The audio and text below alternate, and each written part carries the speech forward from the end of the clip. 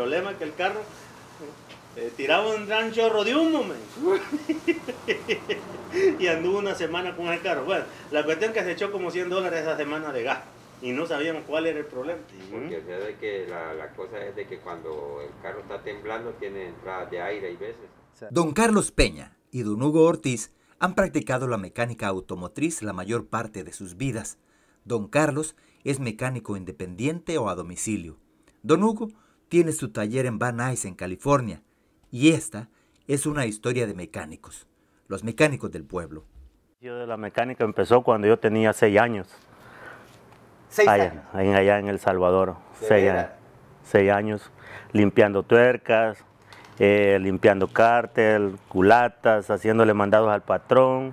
Y pues ahí, de ahí empecé a, de ahí empecé mi lucha a aprender este trabajo para ganarme la vida honradamente y no andar de marero y de cholo y andarle robando a la gente. A los seis años de edad. A los seis años de edad, gracias a Dios, le ayudaba a mi mamá en un puestecito que tenía en el mercado. ¿De veras? Sí, le ayudaba a lavar papas, eh, cebolla, eh, le ayudaba a limpiar el, el rábano, le traía agua, pues hacía todo lo que necesitaba mi mamá porque mi mamá pues era sola, no tenía marido. Sí.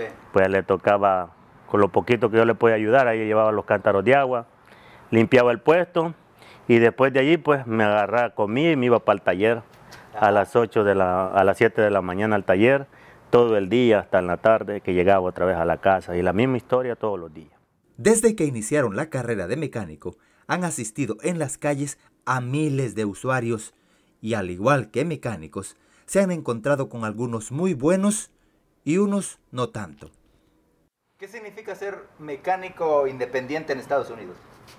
Bueno, eh, es de- muy bueno, muy bueno, me gusta porque dependes de tú mismo, ya tú eres el mismo patrón, tienes tu misma responsabilidad, eh, tú mismo tienes que empezar a, a- a arreglar las cosas bien para que la gente te siga recomendando y, y- y sigue la cuenta y para allá, mientras tú hagas bien las cosas, sigue, sigue, ca- sigue, sigue sigue sumando mucha gente alrededor de uno, buenos, malos, buenas, malas experiencias.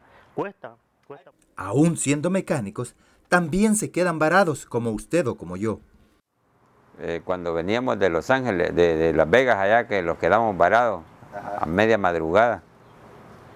Ahí hallamos un señor primero allí en la gasolinera que dijo de que, que necesitaba ayuda, pero que no andaba dinero y que los iba a regalar un café, pero que le ayudáramos.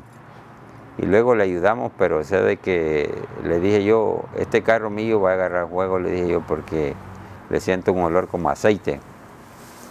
Entonces, bueno, le arreglamos el carro de él luego y, y le arreglamos el sistema de freno porque se le había quebrado, se le había, en la calle ahí? a él lo encontramos en la calle, no, en la gasolinera lo encontramos, Sí. pero ya se le había acabado la mitad del disco. Más adelante, continuaremos con la siguiente parte de estos, los mecánicos del pueblo e historias de mecánicos. Gracias por su sintonía y no se olvide agradecer a Dios por este día. Para la voz del mundo latino les informó Osmin Rodríguez.